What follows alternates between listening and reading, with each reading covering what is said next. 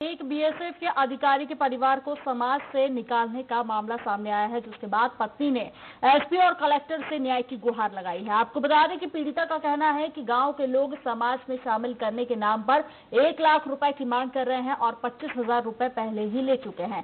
इधर अधिकारियों का कहना है कि मामले की जाँच की जाएगी और दोषियों पर कड़ी कार्रवाई की जाएगी। वास्तव में यह बहुत गंभीर मामला है कि जो व्यक्ति देश के सीमा पर 40 वर्षों तक खड़े होकर सेवा दिया और उसका परिवार पिछले 20 वर्षों से सामाजिक बहिष्कार का दंश झेल रहा है और इनके द्वारा लगातार कई आवेदन पंचायत से लेकर के गाँव के अन्य लोगों तक और वरिष्ठ अधिकारियों को दी गई, लेकिन आज तक कोई कार्रवाई नहीं हुआ। मेरे को लगता है से हुआ कोई बीमारी का पता नहीं हुआ मेरे को। तो बहुत दुख है मुझे, न्याय चाहिए। इसके लिए किसी तरह न्याय चाहिए मुझे। मेरे बच्चे जैसे दूसरों के बच्चे गाँव घर में खेलते, कूदते हैं, जवान होते हैं तो दोस्तों की यारी के साथ रहते हैं। मेरे बच्चे कभी रह नहीं पाए। एक्चुअली मेरे पापा बीएसएफ में थे। उसके बावजूद उनके लाश के लिए कोई नहीं आया कंधा देने। कोई भी नहीं। गाँव के तो आए ही नहीं उनको तो हमें से इसके, पापा तो पापा गाँव में हम, हमारे घर में ही हमारी बहू भी गई तो भी कोई नहीं आया। वो तो शादी के लिए भी सर रोका जाता है या कोई काम के लिए रोकते हैं। हमारे तो आपको बता दें कि पीड़ित परिवार ने कलेक्टर और एसपी से न्याय की गुहार लगाई है और मामले की जाँच के बाद ही दोषियों पर कार्रवाई होगी, ऐसा जिम्मेदारों का कहना है। और इसी पर ज़्यादा जानकारी के लिए हमारे साथ में संवाददाता मिथिलेश गुप्ता जुड़ गए हैं। मिथिलेश, क्या है पूरा मामला? जी, मैं आपको बता दूँ, ये पूरा मामला जसपुर ज़िले के दोगड़ा चौकी क्षेत्र का जुमई कोला गाँव का है।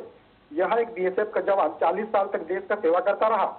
और उसी परिवार को कुछ समाज के ठेकेदारों ने मिलकर उसे समाज से ही बहिष्कार कर दिया। इक्कीस वर्ष तक पूरा परिवार समाज का बहिष्कार का दर्द झेलता रहा और समाज में शामिल करने के लिए गिड़गिड़ाता रहा पर समाज में उन्हें शामिल करने की बात तो दूर। मिथिलेश किस कारण के चलते परिवार को बेदखल किया गया था समाज से? जी मैं आपको बता दूँ कि दो व्यक्ति की आपसी झगड़ा थी जिसमें बीएसएफ की पत्नी ने बीच बचाव करने के लिए गई थी और उसको लेकर के ये बात बिगड़ा। और गाँव के जितने भी सामाजिक लोग हैं वो जो है एक तरफा बैठक करके और ये फैसला कर दिए कि उन्हें समाज से बहिष्कार कर दिया गया है। जी। जी। और कलेक्टर और एसपी से इसकी शिकायत की गई थी तो अभी तक किसी तरह की कोई कार्रवाई हुई है? जी फ़िलहाल पीड़ित परिवार जो है कलेक्टर और एसपी से मामले की शिकायत की है। और हमारी बात हुई है एसपी साहब से वो पूरे मामले में जो है अभी कार्रवाई करने की बात कह रहे हैं। जी मिथिलेश लगभग कितना समय हो गया है जब से समाज से बेदखल किया है परिवार को? जी मैं आपको बताना चाहूँगा पूरा इक्कीस वर्ष जो है इन्हें समाज से बहिष्कार कर दिया गया है। जी मिथिलेश इक्कीस साल हो गए हैं बावजूद इसके अभी तक कोई कार्रवाई नहीं हुई है। क्या परिवार ने इससे पहले कंप्लेन नहीं की?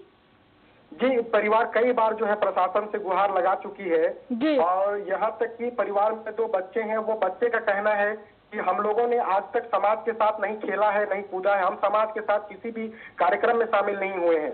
हम सिर्फ़ अपने घरों पर ही रह करके पूरी ज़िंदगी जिए हैं। जी मिथिलेश जिन लोगों ने उस परिवार को समाज से बेदखल किया है उन पर तो कार्रवाई होनी ही चाहिए। साथ ही ऐसे जिम्मेदारों पर भी कार्रवाई होनी चाहिए जिनसे कई बार न्याय की गुहार लगाई बावजूद इस और किसी ने भी ध्यान नहीं दिया। बिल्कुल कार्रवाई होनी चाहिए और समाज समाज के प्रति तो कार्रवाई होना ही चाहिए। और पीड़ित परिवार लगातार कार्रवाई की मांग कर रही है। जी। कलेक्टर और एसपी ने क्या कुछ कहा है? कब तक कार्रवाई होगी?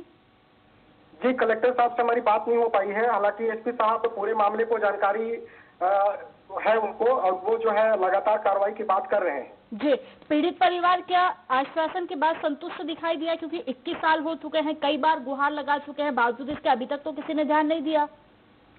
अभी तक पीड़ित परिवार जो है लगातार कार्रवाई को लेकर के दर दर भटक रहा है। उनको अभी तक जो है संतोष किसी तरह की कोई आशा की किरण उनको जगी हो कि नहीं इस बात न्याय मिलेगा उनको? जी फ़िलहाल अभी तक किसी बात की आशा किरण नहीं जगी है और पीड़ित परिवार लगातार दर दर भटक रहा है आज तक। जी चलिए मिथिलेश तो आने वाला वक्त ही बताएगा कि कोई कार्रवाई होती है या नहीं या फिर ये परिवार यूँ ही दर दर भटकता रहता है। हमारे साथ में जुड़ने के लिए बहुत शुक्रिया हमारे साथ में। राज किशोरी जुड़ गई हैं पीड़ित हैं। बहुत स्वागत है राज किशोरी जी आपका स्वराज एक्सप्रेस में। मेरी आवाज़ आप तक पहुँच पा रही है? जी मैम जी मैम आ रही है। जी आपसे समझना चाहूँगी आखिर क्या कुछ वजह थी जो आपको बेदखल कर दिया गया? और इससे पहले भी जैसे कि सामने आया है जाँच में कि आप कई बार न्याय की गुहार लगा चुकी हैं बावजूद इसके अभी तक आपको न्याय नहीं मिला। जी मैम जी। मैम एक्चुअली हुआ ये है कि मतलब दो लोगों की लड़ाई हो रही थी बगल में ही एक नानी है पड़ोस में तो उसका और अपने उसका खेत जो है बगल में ही एक लड़के के साथ हो रहा था लड़ाई वो दौड़ के दौ- मारने दौड़ा रहा था नानी को। तो बस बचाने के लिए चली गई मम्मी तो बस वही बीच बच, बस बचाने गई मैम वो बात मतलब आगे बढ़ के इतने आगे तक बढ़ गई है अब कि मैं जब तक जहाँ तक मैं जा रही हूँ बीस वर्ष पूर्व से ही ये हमारे साथ ऐसा हो रहा है। पापा मेरे बीएसएफ में थे थे नहीं घर में मम्मी अकेली थी तो हमको शुरू से ही ऐसे पर, परेशान किया गया। कई जगह हम गुहार लगाए गाँव में। किस तरह से आपको परेशान किया जाता है? मैम हमको हर तरह से मैम जैसे कि हमारा कोई काम है जैसे खेत खलियान मम्मी यहाँ गाँव में काम कराना पड़ता है लोगों को बुला के तो उसमें रोक दिया जाता है। मैम जब लोग आएँगे नहीं तो हम क्या खाएँगे? जी। तो इसकी और दूसरी बात इसको लेकर आप काफ़ी बार कंप्लेन भी कर चुके हैं तो जिम्मेदार क्या कुछ कहते हैं आपको? किसी तरह का कोई आश्वासन देते हैं? क्या कुछ कहना होता है उनका?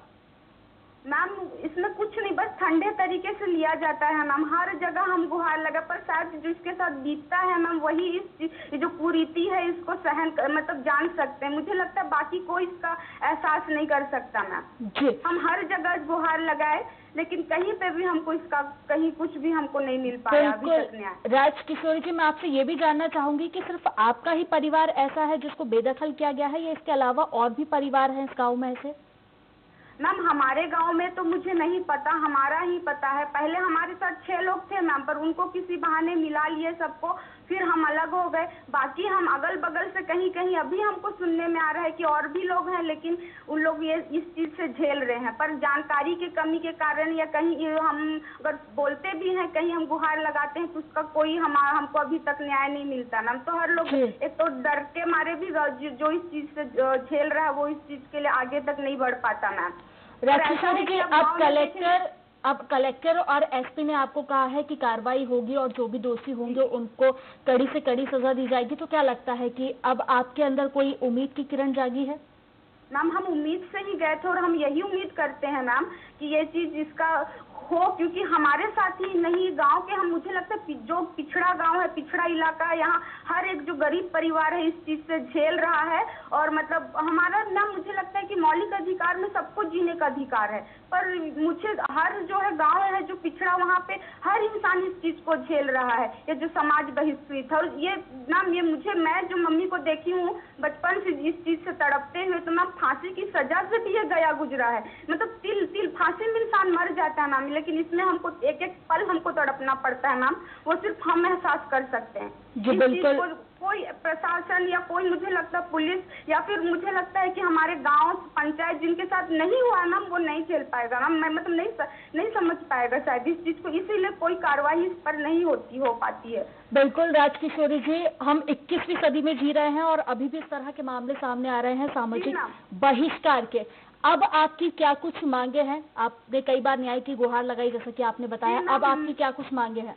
मैम मैं चाहती हूँ मैंने इस चीज़ पे देखा भी है कि शायद हमारे भारत में सिर्फ़ महाराष्ट्र या कहीं समाज बहिष्कृत का कानून बना है और हमारे यहाँ बना नहीं है। तो मैं चाहती हूँ मैम कि मुख्यमंत्री जी से कि इसका समाज बहिष्कृत पे कानून बने और ये हर जो इंसान इस चीज़ से पीड़ित है उसके लिए न्याय मिले मैम। जी। और उस चीज़ को मैं हमने झेला है मैम तो हम ही बता सकते राज किशोरी जी आप हमारे साथ में जुड़े रहिए। हमारे साथ में राम प्रकाश पांडे जुड़ गए हैं जो कि समाज सेवी है। बहुत स्वागत है राम प्रकाश जी आपका। धन्यवाद। जी सामाजिक बहिष्कार का मामला सामने आया है जशपुर से। क्या कुछ कहेंगे? 21 साल हो चुके हैं कई बार न्याय की गुहार भी लगा चुका है परिवार। बावजूद इसके किसी भी जिम्मेदार ने इस और ध्यान नहीं दिया। जी जशपुर अभी पिछले पचास सौ सालों से जी। पूरी दुनिया जो इक्कीसवीं सदी में जाने को तैयार है वहीं ये और सौ साल पीछे जाने की स्थिति आ रही है। जी। ये अकेला मामला नहीं है सामाजिक बहिष्कार का, जशपुर का अगर गाँव का भ्रमण सर्वे किया जाए तो गाँव में सैकड़ों ऐसे मामले मिलेंगे, जो इस तरह से लोग झेल रहे हैं। और ये एक बहुत ही गंभीर विषय है कि इसके पीछे आखिर ऐसी क्या योजना है, किसका षड्यंत्र है, कौन ऐसा यहाँ पर हिटलर शाही चलाता है, जो ऐसी ताकत रखता है कि गाँव के लोगों को इस तरह से परेशान करता है वास्तव में इस विषय पर भी एक लंबा जाँच करने की आवश्यकता है। जी। रामप्रकाश जी इसके पीछे कहीं ना कहीं मुझे लगता है ये भी एक कारण है कि एक तरफ़ हम डिजिटल इंडिया की बात तो करते हैं पर लोगों की जो सोच है उसको हम डेवलप नहीं कर पाए आज भी। जी सोच का तो विषय अब स्थानीय लोगों के लिए हो सकता है लेकिन मुझे मेरा प्रश्न यही है कि एक विशेष समुदाय जो जशपुर में रहता है आखिर उसी समुदाय के अंदर ये बीमारी क्यों फैली है? मैं आपको दो उदाहरण और बताऊँगा। जशपुर के पास पमेरा टोली है पंद्रह साल पहले एक फौजी जशपुर आता है रिटायर होकर के और चुनाव लड़ने की तैयारी करता है और एक विशेष पार्टी से वो अपना नामांकन भरता है। बाद में दूसरे उसी स्थान पर काम करने वाली एक बड़ी संस्था जो एक विशेष समुदाय की का नेतृत्व करती है, उन्होंने उसका सामाजिक बहिष्कार कर दिया।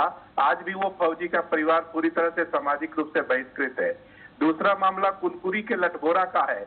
वो अभी मेरे पास आया था वे लोगों का एक मामला है कि उसके समुदाय का कब्रिस्तान का कोई विषय था उसके खेत में कब्रिस्तान था और वो व्यक्ति अपना खेत विस्तार करना चाहता था और उसको लेकर के विशेष समुदाय के लोगों ने उसे बहिष्कृत कर दिया। दस साल से वो परिवार भी बहिष्कृत है। तो ये बहुत ही गंभीर मामला जशपुर में है। जो भारत के संविधान को ठेंगा दिखाते हुए एक अपना पैरलर संविधान चलाने का जो योजना है, इस विषय पर विशेष रूप से तहकीकात करने की ज़रूरत है। जी, रामप्रकाश जी, और प्रशासन की एक बड़ी लापरवाही भी इसमें सामने आई है, क्योंकि मेरे साथ में अभी जुड़ी हुई थी पीड़िता राम किशोरी जी, जिनका साफ़ तौर पर कहना है कि 21 साल हो चुके हैं बार बार इसको लेकर गुहार लगा चुके हैं, पर कोई भी इसको लेकर ध्यान नहीं दे रहा है। जी प्रशासनिक रूप से तो शायद वो लोग नहीं पहुँच पाए थे वो अपने स्थानीय स्तर पर पंचायत और इधर उधर कहीं लिखा पढ़ी करते रहे। आ, वहाँ पर उनका जो समुदाय का जो कैथोलिक चर्च है उससे भी उन लोगों ने आवेदन किया था। उन्होंने भी मामले को निपटाने। में असफलता रामप्रकाश है। जी मैं यहाँ पर आपको रोकना चाहूँगी। हमारे साथ में महादेव कावरे जुड़ गए हैं जो की कलेक्टर है। महादेव कावरे जी बहुत स्वागत है आपका स्वराज एक्सप्रेस में। जी यू से जो मामला सामने आया मुझे लगता है आपके भी संज्ञान में होगा कि एक परिवार का सामाजिक बहिष्कार कर दिया है और 21 साल हो गए हैं उसको लेकर। क्या कुछ कहेंगे?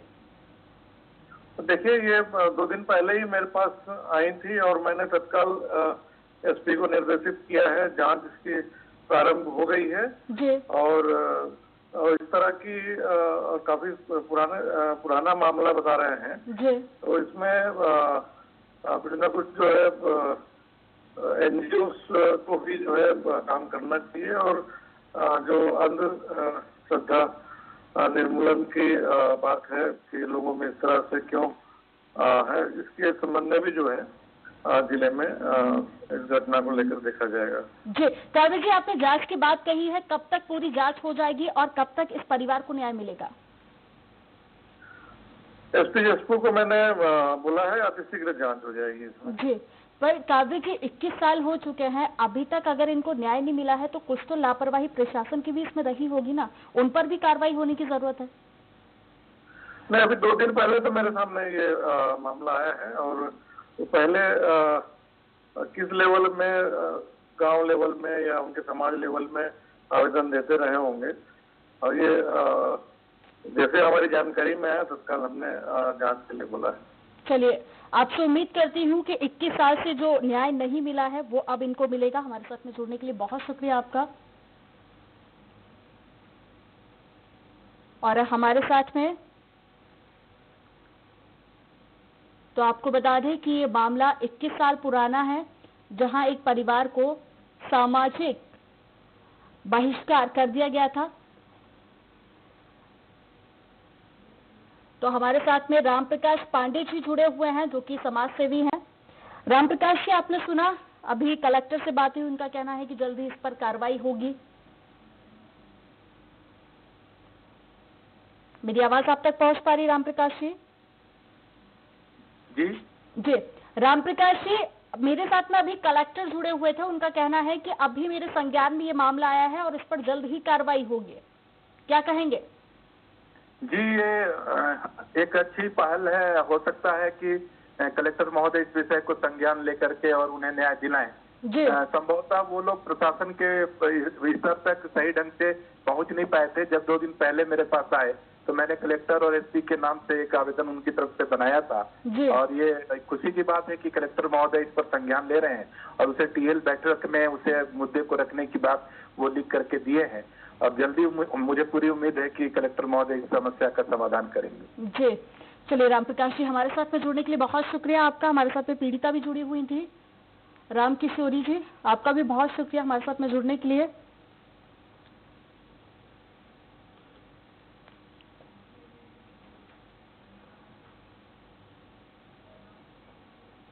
चलिए, रुक करेंगे